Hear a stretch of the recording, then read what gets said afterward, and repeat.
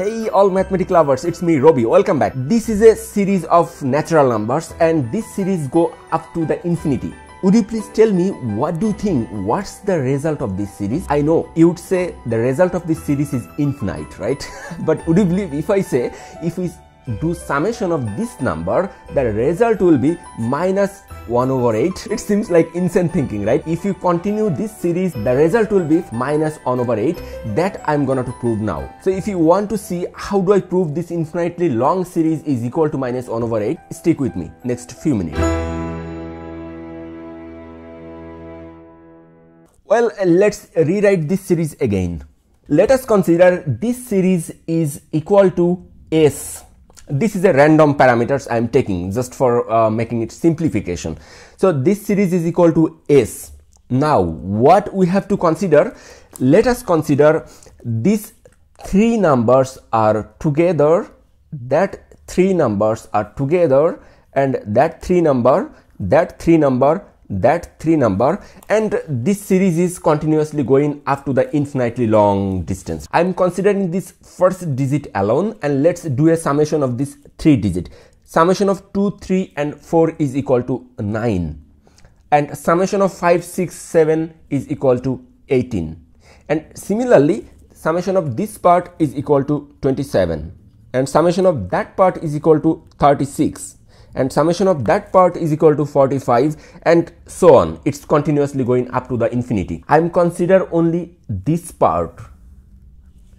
Keep this first digit alone here and take a 9 common from rest of the part. If i take a 9 common from here this 9 become 1 18 become 2 27 become 3 36 become 4 45 become 5 plus dot dot up to infinity. Now, this is the interesting part. Look at here.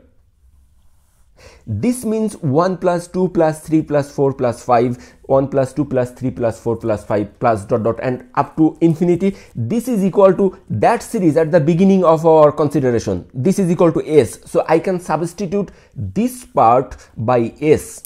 That means 1 plus 9 times S right?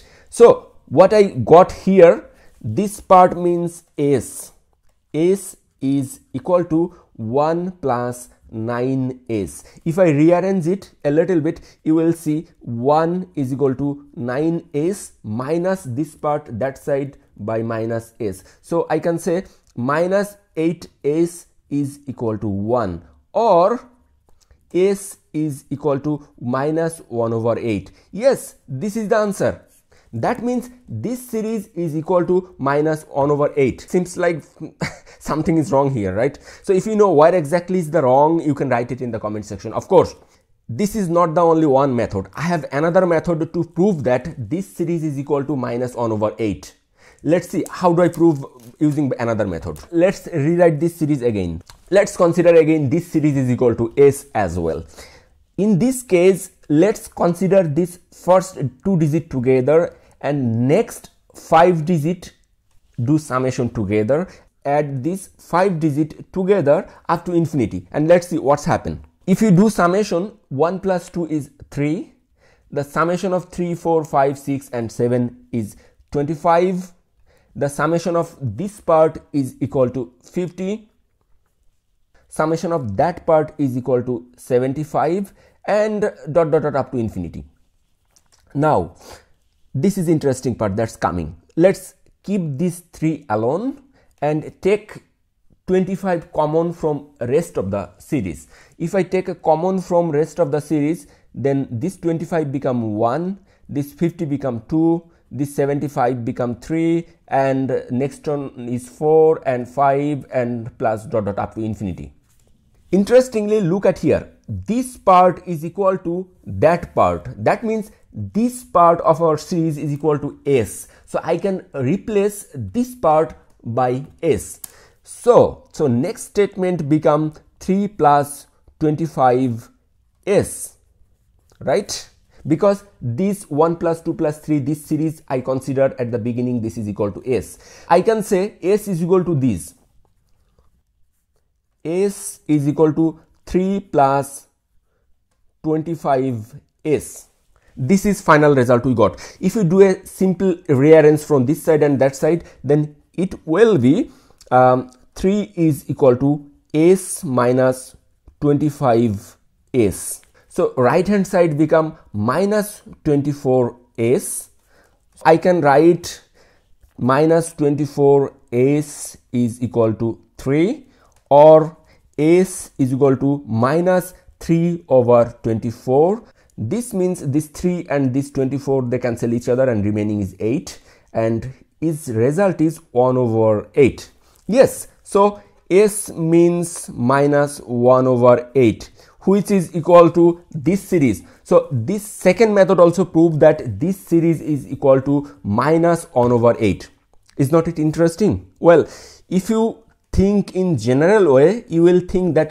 this series is equal to infinity it will be very very large number that is not countable right this is very normal thinking according to the conventional mathematics but i prove by two different method that this series is equal to minus 1 over 8 definitely. I admit it something is wrong in this cal calculation. According to the conventional mathematics that means i did not follow the ground rules of mathematics somewhere in this entire calculation. So your task is if you know where exactly is the mistake you can write it in the comment section. That's your task. It's pretty simple very simple. Just come in the comment section and discuss it. I will tell you where exactly is the mistake.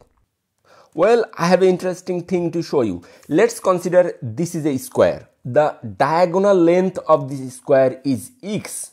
How do you calculate the area of this square? You would say okay this is very simple right? You can calculate the area of this square is equal to the diagonal length divided by square root 2 which is equals to length of this one side. If you do a square of this length which is equals to this area of this total square. And this is the way according to the conventional mathematics. But I have a very simple matrix that will take only 5 seconds to calculate the total area of this square. You can believe it right? Okay let's see. Let's consider this x this diagonal length of this x is equal to 5 so according to the conventional way traditional way let's see how much time it takes to calculate this area of this square. This diagonal length is x. That means according to the conventional way area is x means 5 over square root 2 and you have to do a square. If you use the calculator the result is 12.5 square let's say centimeter it takes at least one minutes to calculate u the total area of this square. But i know a very simple trick this is my way of tricks. If you know the diagonal length as i told you 5 you have to multiply it with its half. That means half of 5 means 2.5 5 times 2.5 which is equals to 12.5 yes this is the answer. Look at here. This is the conventional way and this is my way just tell me which one is very simple, my way or the conventional traditional way? Definitely, it is very simple. Let's do another example. Let's say x is, that means this diagonal distance is equal to, let's say um, 10, 10 centimeter.